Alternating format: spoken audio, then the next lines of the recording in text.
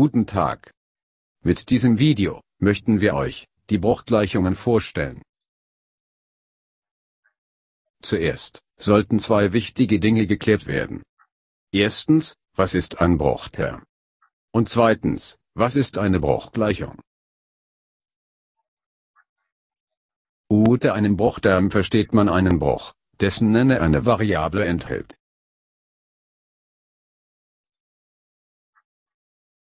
Und eine Bruchgleichung ist eine Gleichung, die mindestens einen Bruchterm enthält. Beispiel 2 geteilt durch x minus 1 gleich 3 ist eine Bruchgleichung. 2 geteilt durch x minus 1 ist ein Bruchterm. Im Nenner x minus 1 kommt die Variable x vor. Der Nenner eines Bruches darf nie 0 sein. Daher müssen die Fälle, für die der Nenner 0 werden könnte, ausgeschlossen werden. Das bedeutet, in diesem Fall muss x ungleich 1 sein. Sonst ist der Nenner x minus 1 gleich 0. Und der Bruchterm 2 geteilt durch x minus 1 ist nicht definiert.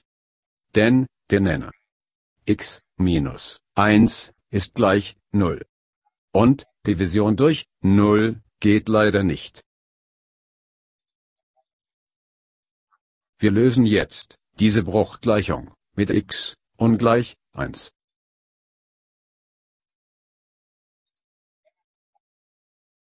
Wie wir schon wissen, wir dürfen eine Gleichung auf jeder Seite mit der gleichen Zahl oder auch einen gleichen Term multiplizieren oder dividieren und so weiter, ohne dass sich die Gleichung ändert. Dies nutzen wir aus, um die Nenner in der Bruchgleichung zu entfernen. Also, wir multiplizieren jede Seite mit dem gleichen Term im Nenner. x minus 1. Dann gilt 2 mal x minus 1 in Klammer geteilt durch x minus 1 gleich 3 mal x minus 1 in Klammer. Wir kürzen jetzt x minus 1. In der linken Seite bleibt 2 in der rechten Seite gleich 3 mal x gleich 3 x, dann 3 mal minus 1 gleich minus 3. Die verbleibende Gleichung wird gelöst wie bekannt. Wir addieren beide Seiten mit 3.